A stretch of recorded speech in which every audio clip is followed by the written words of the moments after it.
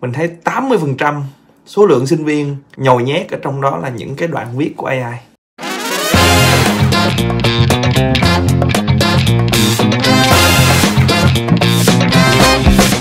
Chào mừng các bạn đã quay lại với kênh của mình, mình là Nhật Bình hiện đang là giảng viên từ trường đại học MIT tại thành phố Melbourne. À, Hôm nay mình làm video này là đang giữa lúc mình chấm bài. À, và có một cái vấn đề mà mình nhận ra à, khi mà chấm bài học sinh đó thực sự là rất là thấy buồn cũng như là mình cũng có nói chuyện với những giáo viên khác. Thì đây là một cái thực trạng mà mình nói là càng ngày càng phổ biến. Nó đang đi ăn sâu vào trong giáo dục rất là nhiều. Và một tình trạng mình thấy là cực kỳ đáng đáng lo ngại ở trong giáo dục. Cái công nghệ mới hay, nhưng mà đang ảnh hưởng rất lớn đến giáo dục là công nghệ AI và thực sự khiến cho mình chấm bài. Ngày xưa, mình chấm bài, sinh viên chấm những bài luận á, mình thấy rất là thích thú, rất là nhiều ý tưởng hay, rất là nhiều góc cạnh khác nhau những góc nhìn khác nhau một vấn đề của các em. Đọc một cái bài luận của mấy em á, là mình học thêm một điều mới. Còn bây giờ khi mà nhìn vô những cái bài tập các em nộp á, gần như mình nói gần như là mình thấy 80% số lượng sinh viên nhồi nhét ở trong đó là những cái đoạn viết của AI các em nghĩ là giáo viên không biết chứ. Không hết được giáo viên có thể nó nó thực sự nó cũng có đường cái điều gây tranh cãi là các bạn có thể hiểu là nếu sinh viên đưa một cái bài viết AI copy paste vô á có thể sinh viên nghĩ là giáo viên khó lòng mà gọi là bắt mình hay là ở đây có phải là AI không? Hay là cũng có thể cãi một hồi nó ở này cho tôi viết tôi viết hay thôi mà. À các em có thể nghĩ như vậy. Tất nhiên bây giờ thì giáo viên cũng không thể nào mà ngồi lại kiểm tra kỹ hay là gặp gặp từng em đối thoại được. Mình nhớ ngày xưa ngày xưa à, thực sự ngày xưa á à, khi mà mình vẽ cái môn vẽ mình rất là tệ. À, thực sự ngày xưa mình về có một cái mình nhớ nhớ hoài là có một cái buổi mình mình hồi nhỏ hồi lớp 2 phải mình về.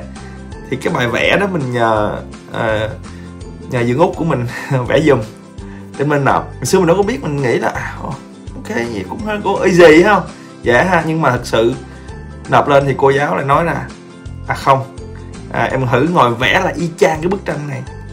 Vẽ lại được gần như similar gần giống thôi cũng được nó không sao mình vẽ không được. Mà mình nhận ra đó là một cái điều rất là xấu hổ khi mà khi mà mình mình nộp một cái bài của công sức của ai đó cho người khác. Ở đây các em dùng cái sức mạnh của AI nếu cái, nếu mình coi AI là một con người một cái thực thể thì thực sự các em đang đang sử dụng công sức của một người khác.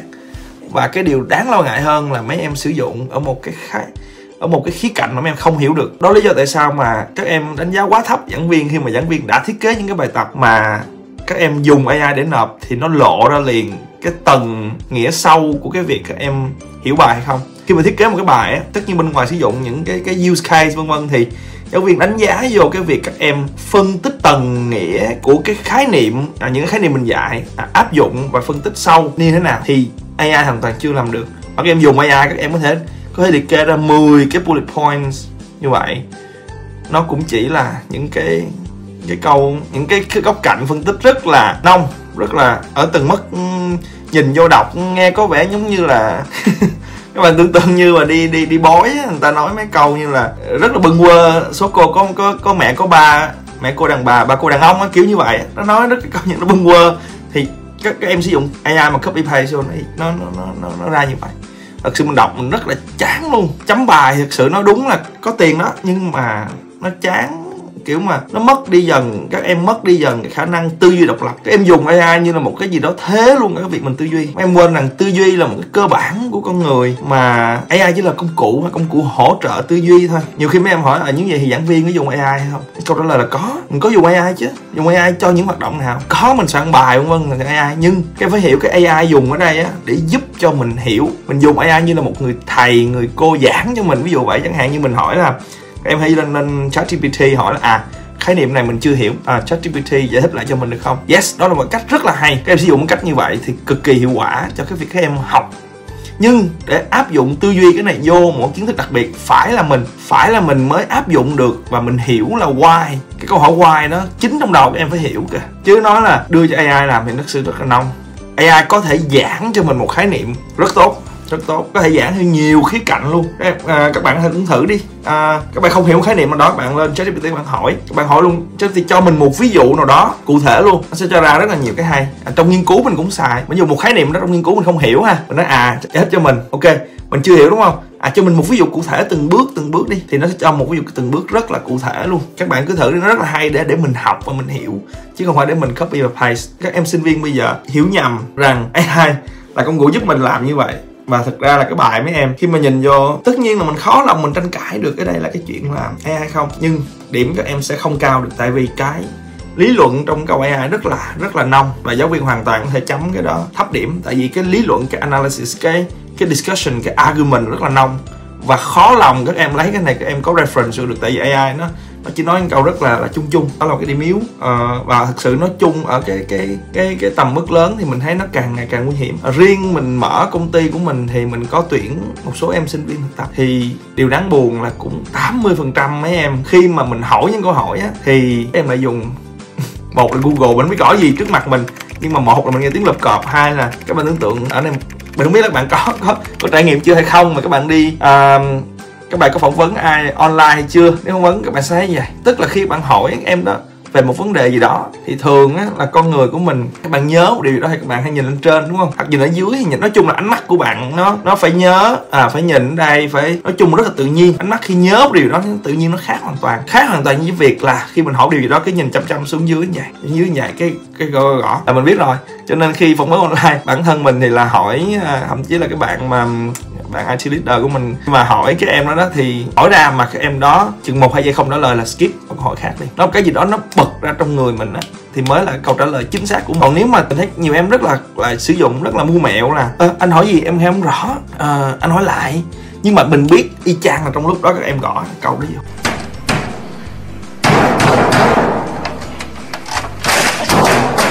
Cái thái độ như vậy rất là tệ và những cái em mà mà sinh viên mà xin phỏng vấn thực tập ở công ty mình như vậy thì mình cho rất hết.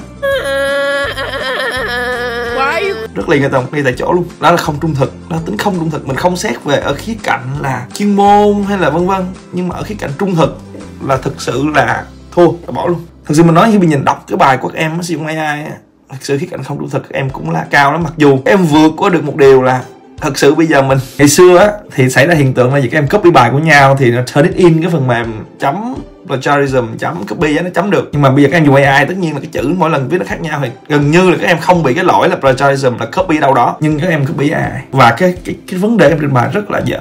Uhm, mình không biết các bạn có góc nhìn như thế nào về cái vấn đề AI này. Các bạn nào đi làm hay là thậm chí các bạn là giảng viên khác có thể uh, chia sẻ với mình ở comment bên dưới. Mình cũng rất mong nhận được nhiều cái cái ý kiến mà à, khách quan về cái góc nhìn này. Riêng mình làm về giáo dục thì mình chủ yếu mình rất mong các em mình giảng bài cho các em mình giảng bằng hết tâm huyết. Mình biết các giáo viên khác cũng như vậy. Và rất buồn khi các em bỏ đi cái phần tư duy đó. Giáo dục quan trọng nhất là cái tư duy không phải kiến thức. Kiến thức mình dạy thì một thôi. Nhưng mà lên lớp mình dạy cho mấy em cái phương pháp tư duy của kiến thức đó. Nhưng các em bỏ qua luôn. Các em thà là thôi để ai tư duy cho mình. Thầy dạy mình cái phương pháp tư duy thôi cũng dẹp không quan trọng. Ai làm hết rồi. Như vậy thì Ừ, um, các em đi học rất là uổng phí. À um, yeah thì uh, đó là cái cái ý kiến của mình. Các bạn có ý kiến nào uh, của các bạn các bạn hãy đóng góp với comment bên dưới. Uh, mình cảm ơn và mình hẹn gặp lại các bạn trong các video kỳ tới.